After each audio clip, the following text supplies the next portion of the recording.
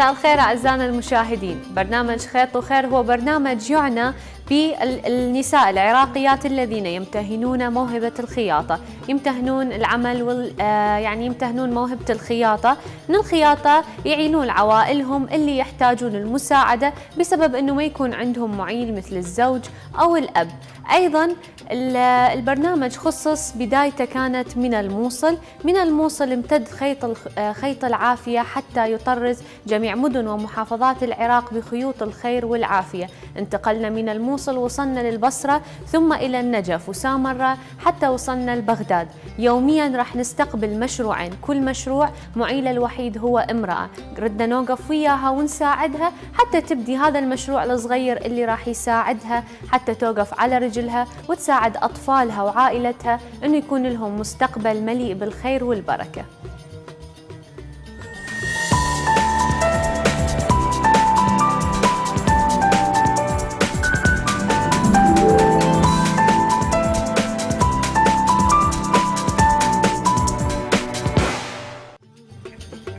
غرزة الخيط اليوم تبدي من عائلة أم إبراهيم من الموصل. الأخت شيرين في منطقة الباب الجديد.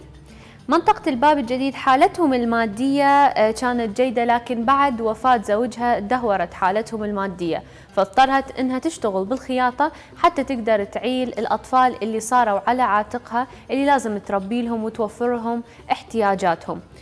آه، أيضا هي تعمل في آه، تعمل كممرضة يعني ممرضة خارجية تضرب أوبر لكن الموضوع مدى يوفي وياها. ماكينتها خربانة لدرجة إنها كل ما تحاول تشتغل عليها تكهربها. خلينا نتابع التقرير اللي أعدته لنا الزميلة نور من الموصل.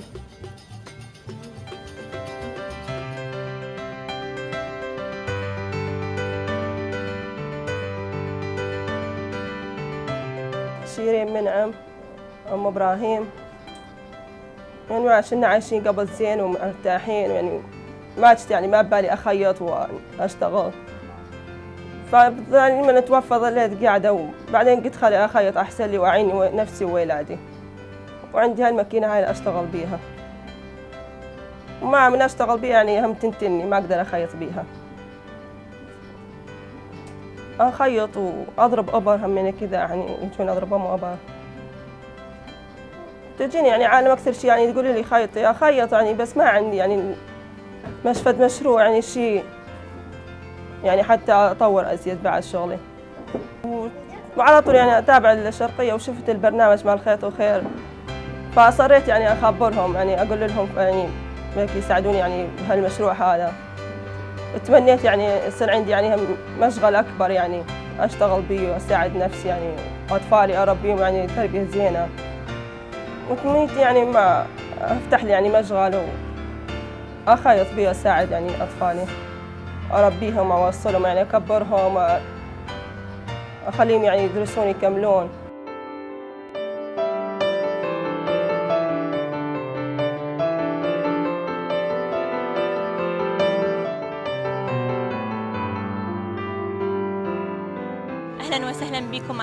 مشاهدي برنامج خيط وخير.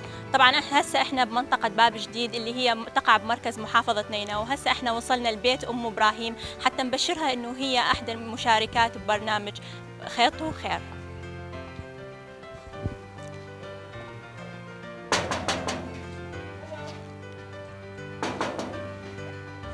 السلام عليكم.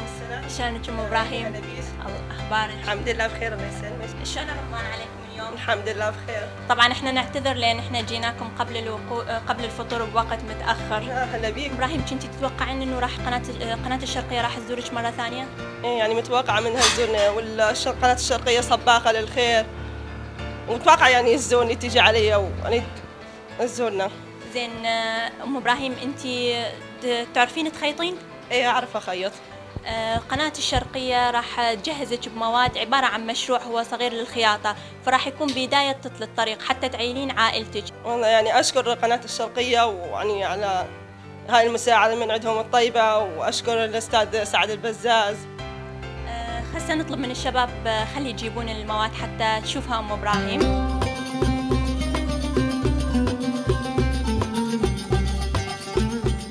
أم إبراهيم هسه نشوف المواد اللي جهزت اياها قناة الشرقية. طبعا هاي ماكينة براذر وزيوته عبارة عن أقمشة كشمير وكدري تعال إبراهيم. إبراهيم أنت فرحان إنه هسه قناة الشرقية جهزت ماما بماكينة حتى تخيط وتعيلكم وتسوي لك لك هدوم؟ إيه. أنت فرحانة بهذا الموضوع؟ يعني إنه باعتبار إنه قناة الشرقية راح جهزتك بال راح جهزتك بالمواد وراح يكون هذا بداية طريق لك حتى أنت تعيلين عائلتك وحتى يكون بداية حتى تكملين مشوارك باعاله هاي العائلة اللي القدر خلاك إنه أنت لازم تتكفلين بيها. والله يعني فرحانة حيل يعني بجية الشرقية وال... وخيرات أستاذ سعد البزاز واشكره وأشكر يعني كل الكادر كل يعني قناة الشرقية زين ام إبراهيم شنو رأيك نبشرك ببشرة ثانية ونقول لك إنه قناة الشرقية خصصت لك راتب لمدة ثلاث أشهر وكل شهر 250 ألف دينار عراقي؟ معناته إنه ثلاث اشهر راح تاخذين 750 ألف دينار عراقي. شنو رأيك بهاي المفاجأة الثانية؟ اشكرها يعني قناة الشرقية حيل حيل حيل أشكرهم. أعزائي المشاهدين نتمنى اليوم أن نكون تركنا فرحة صغيرة ببيت أم إبراهيم ونتمنى لها الموفقية. آه، مع السلامة أم إبراهيم ونلتقيكم بحلقة ثانية وعائلة جديدة من محافظة نينوى نستودعكم بالله. مع السلامة.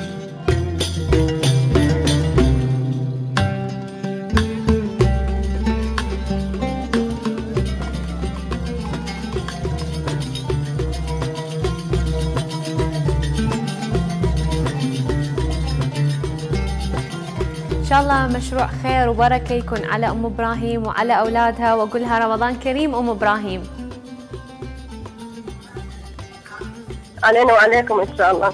آمين. أجمعين. إن شاء الله شهر خير وبركة عليك وعلى أولادك.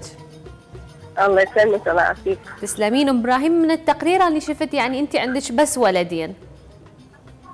إيه. أي نعم.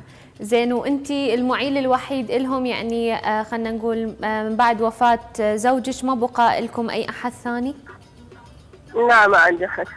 نعم زين آه هو شو وقت توفى يعني صار له كم سنة؟ صار له ست سنين. ست سنين. الله يرحمه إن شاء الله وتكونين انت الخير والبركة لأولادك. إن شاء الله. أم إبراهيم. أم إبراهيم سولفي لي. الخياطة بديتيها بعد وفاة زوجك؟ لا والله والله بالخياطة يعني كانت عندي هواية هيجي. بس بعد ما توفى قمت عاد أخيط يعني بعد ما توفى قمتي فعلا تشتغلين بالخياطة. قبل كانت هواية مجرد تحبين تسويها بس ما كنتي محتاجة تشتغلين. لا ما كنت محتاجتها والله. أي نعم. زين أم إبراهيم المشروع اللي جاك بديتي بيه بدت تطورات على المشروع سولفيلي إيه الحمد لله والله بديت فيه يعني خوش مشروع حيل حيل. الحمد لله. زين إيش سويتي أول شيء بالمشروع؟ أول شيء قمت يعني خيطت الدشاديش وخيطت الولادي همين المهم سويت. لهم الشراشف لتخوته مالتهم. ما شاء الله. حضرتي لهم يعني شراشف وهدوم العيد كاملة؟ إيه حضرت لهم للعيد الشن زين إيش سويتي لهم للعيد؟ غير البيجايم. سويت لهم؟ أخذت لهم هم هدوم للعيد. ها يعني أخذتي لهم وانت خيطتي لهم البيجايم. إيه خيطت لهم واخذت لهم همين. ما شاء الله الله يخلي لك إياهم أم إبراهيم وإن شاء الله يعني مشروعك. يكبر إن شاء الله ويصير عندك آه، يعني نطمح. إنه يكون عندك مشروع كامل فعلا مشغل خياطة. إيه والله. زين شنو أخبار الماكينة اللي تكهرب الكهرب خليته والله يمها الصفحة. زين هي شو كانت نسيتها يعني؟ في سبيل الله.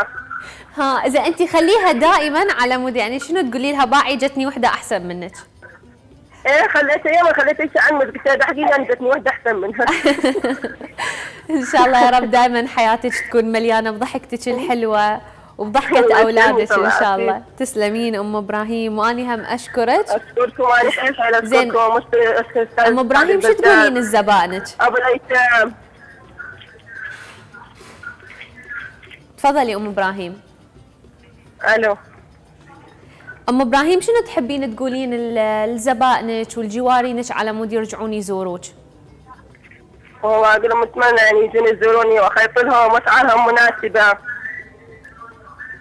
قولي لهم صارت عندي ماكينة جديدة مو مثل القديمة إيه، اللي عندي ماكينة تنتل جديدة. تتعني والله صراحة كنت أرجع يعني القماش كانت تجيني أرجعها ما أقدر أخيط. ها نعم. بس هسه لا هلا وكل من يجي هلا بيه يلا إن شاء الله يا رب يكثرون زبائنك وإن شاء الله يرجعون من جديد عليك. ودائما يكون إن شاء الله يا رب يكون مشروع خير وبركة عليك وعلى أولادك. أني أشكر أم إبراهيم واقول لكم أقول لجوارينها ومعارفها إنه رجعوا زوروها ماكينتها صارت ماكينة جديدة ما تنتل. تقدر تشتغل هسه عليها وما ترجع لكم قطعكم زوروها. هي في الموصل في منطقة الباب الجديد. انتقل للحالة الثانية هي حالة أم أحمد أيضا من الموصل في شارع بغداد. أم أحمد تسكن في دكان آه، زوجها وابنها استشهدوا من سنة 2007 ترى آه، تربي ثلاثة أيتام عايشة في هذا الدكان الصغير لكن بعد هذا يعني هي انتقلت إلى شقة آه، أفضل من هذا الدكان. هي مريضة بالسكر وتحاول إنها تكسب العيش حتى توفر العلاج إلها وتوفر احتياجات أطفالها لثلاثة. خلينا نتابع تقرير زميلنا جمال.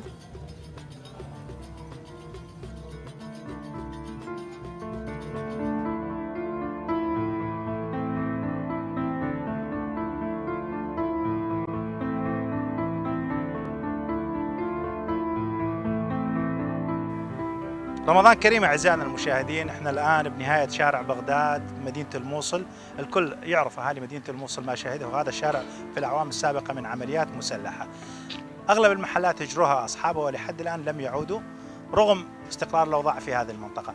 أم أحمد وجدت ضالتها بهاي الدكان اللي تركها صاحبها بدت تعوي عائلتها الأيتام. شلونك أم أحمد؟ ألو مرحبا. شلون صحتك؟ الحمد لله. شلون أمورك؟ والله على الله. أم أحمد للي ما يعرفك اريد تعرفيه بنفسك وشنو هي قصتك وشنو معاناتك؟ وليش سكنتي سكنتي بهاي الدكان؟ والله أنا زوجي شهيد وابني شهيد وما عندي غير بس الله ويتامى عندي طفلين وعندي بنت وقاعدة بهالدكان والرزق على الله. هاي صار لي أنا سبع سنوات أي. عندي يتامى ومريضة بالسكر وما عندي فلوس أشتري علاج سكر وحالي تعبان هسه بس على كيفك خلينا هسه ما تضيفينا بالدكان شوي خلينا. نفوت نقعد بمكانك. لا. يلا خلينا نفوت. يلا.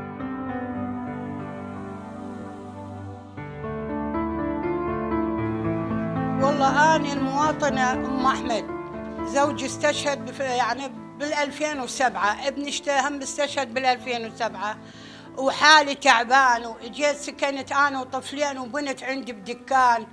والعالم نوبة تجيب لي نوبة تترحم علي نوبة يعني ناس يطوني يجيبوا لي مثل خمسة عشرة ومدود اشتغلت عاملة هماتين فترة وطلعت وأنا وجعانة وعندي سكري وظروفي تعبانة. يعني العبرة مال السكر صارت علي ب 15 وأنا ما أقدر أشتريها. حيلي تعبان حيل. اشتغلتي خياطة أم أحمد اشت- حكيتي اشتغلت خياطة بس الظروف ما سمحت لي. الراتب قليل ما يكفي ولادي وإحنا مهجرين. يعني أنا وطفلين قاعدين بدكان وما نعرف. كل شوية يعني ظروف الدنيا شلون تصير ما أعرف. ونايمة نوبة انام بالشارع نوبة أقعد بالدكان نوبة أصعد فوق ما أعرف إيش أسوي بحياتي. تعبانة حيل. يعني يعني إذا إذا الشرقية وفرت لك مشروع مثلا. أشتغل ليش ما أشتغل؟ شنو هي الشغلة المحببة؟ خياطة. تقدرين أقدر أشتغل خياطة بالصالون أقدر أشتغل أخيط كل شيء أسوي شلون تجمعي لك معاميل زباين؟ والله على الله غير الرزق على الله ما عندنا غير الله؟ بلا صار لي أربع سنين هنا. بلا. شلون راح؟ وين؟ زين وين المكان إذا نقدر نهيئ لك مكان مثلا تشتغلي؟ فوق عندي شقتي فوق. هسه أنا اخذت هذا تركتيه لا. اي فوق. هسه راح نشوفك جبنا لك إن شاء الله تفرحين بيه إن شاء الله. أم أحمد راح نشركك بمشروع خيري عادته الشرقية تعالي وياي. إن شاء الله. بس نتمنى إنه تنجحين وتعيلين إن شاء اطفالك الله إن شاء الله. تعالي انزلي أشوف. يلا. تعالي استلمي هذا المشروع.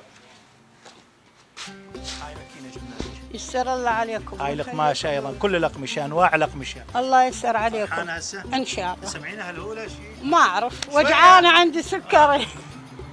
هسه شوفي تعال شوفي دا شوفك. هاي ماكينة براذر صناعية. هوش هاي براذر صناعية. هاي أقمشة كشمير أقمشة كدري أقمشة ولادي الولادك تفصلين. إن هذا. شراكف. إن هذا أول شيء أنت غراضك كلها تبدليها. إن شاء هوش الله أختي؟ إن شاء الله. عندك يعني قماش ما قماش تحتاجي تستخدمين منه. إن شاء. والباقي راح يجيش ناس يجوز. إن شاء الله. وش تعرفين بنفسك؟ قولي تعالوا أنا أم أحمد خيطوا عندي بفلان مكان. يسر الله عليك. مع الناس. إن شاء الله إن شاء الله. زوروني تعالوا. إن شاء الله. كل كل طيب يندر لي يجي علي يساعدني لله لأن أنا عندي يتامى. أريد اخيط. وأريد اخيط وأريد أشتغل بالنسبة دعايش يتامى عندي. إيه بغداد. إيه شارع بغداد. الشرقية خصصت لك من الأول من رمضان. راتب لمدة ثلاثة أشهر. كل شهر 250 ألف دينار ربع مليون عراقي. إن شاء الله. يستر الله عليك يابا ويحميكم الله وكل طيب. ويخليكم الله ويحميكم من كل مكروه بالشارع. فرحانة إن شاء الله. إن شاء الله يابا وأشكر سعد البزاز ويستر الله عليه اللي ساعدني وجاب لي رزق لي الولاد اليتامى.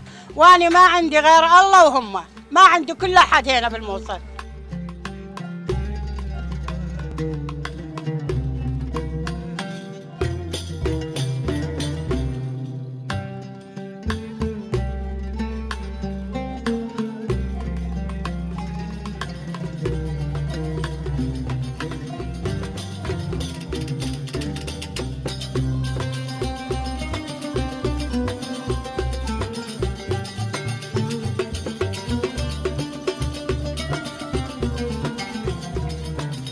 ويانا أم أحمد أقولها رمضان كريم أم أحمد.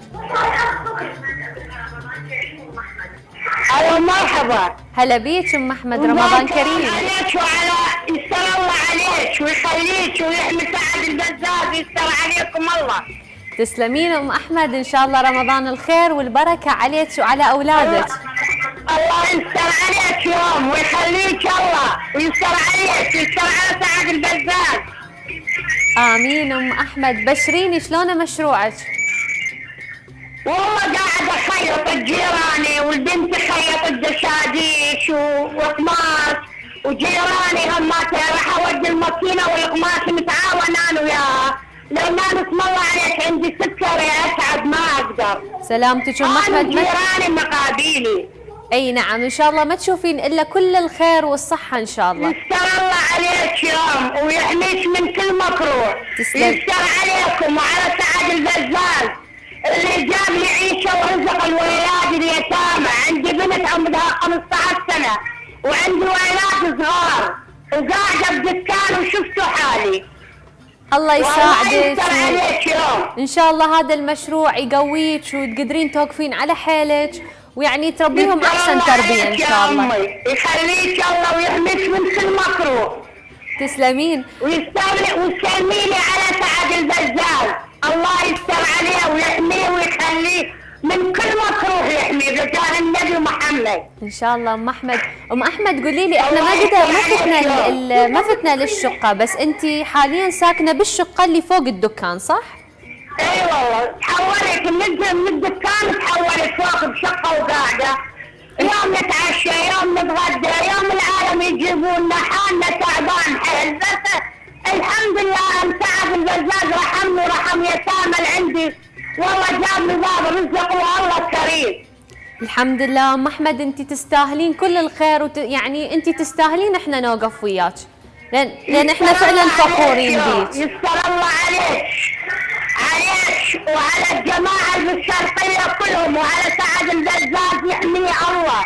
تسلمين ام احمد أنا ما عندي غير الله وسعد البزاز عندي واحد من ولادي يقول أبويا سعد البزاز أنا عمره عشر سنين محمد اسمه أم أحمد. أنا اريد احكي معك يستحي يقول ابويا سعد البزاز بس اريد اسمع صوتك سعد البزاز تسلمين أم أحمد. إحنا كلنا ولدك ونوقف وياك أم أحمد. لا لا تحكي معانا تحكي قلت بس يا ابويا سعد البزاز.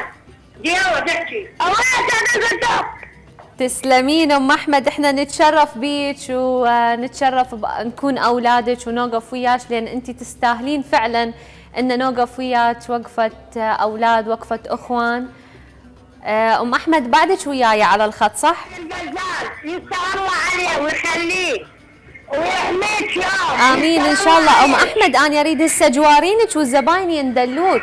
يعني أنا أنا قاعد يجمع علي دخلتهم هسه حيقولوا لي حول الماكينه إحنا نشتغل. أنا وياك يمكن راح احولها عليهم. بين آه. مقالين الجيران خوش ناس أي لا إن شاء الله المهم إنه يساعدوك وتكونين بخير وبصحة وأني أشكرك أم أحمد. إن شاء الله يا رب مش مشروع الخير والبركة وما تشوفين إلا كل العافية. أعزائنا المشاهدين نختم الحلقة بأم أحمد. كانت آه، القصة الثانية ويانا لليوم. غدا راح يتجدد موعدنا في نفس الوقت. حيكون ويانا أيضا مشاريع جديدة. فإلى الغد ألتقيكم.